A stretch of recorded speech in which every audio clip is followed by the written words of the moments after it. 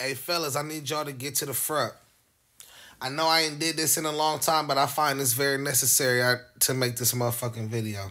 If you've been up since 7, 8, 9, 10 in the motherfucking morning and you've been smoking tobacco, smoking weed, you've been you been drinking, you've been eating burgers with onions and shit on them.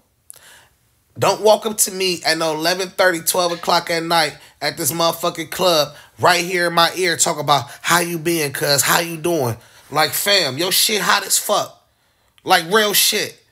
And then you got the nerve to come over here in, in, in my personal space and voluntarily spread breath around. You know how inconsiderate that sound? How selfish you is? That you've been out here all day and you ain't hit your before I leave the house and go to the club on my mama at nighttime, bro. I hit my grill because we about to be in people's face. You grab sticks of gums, little breath mints. You gotta do shit like that. But you mean to tell me you about to come over here and voluntarily pass breath around? You selfish as fuck. Then you got the nerve to go over here to these hoes and be trying to ask them to get them some drinks and wonder why they don't want to wonder why they don't want none from you.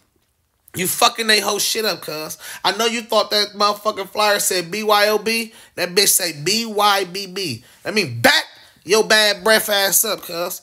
Like back the fuck up, cuz. And I'm not even trying to kick it. I'm not even kind of kicking. I'm just I'm just chilling, bro. I'm just chilling, man. Nigga that fucked my whole edge up up yesterday. I am irritated as fuck this morning, man, with these niggas, bro.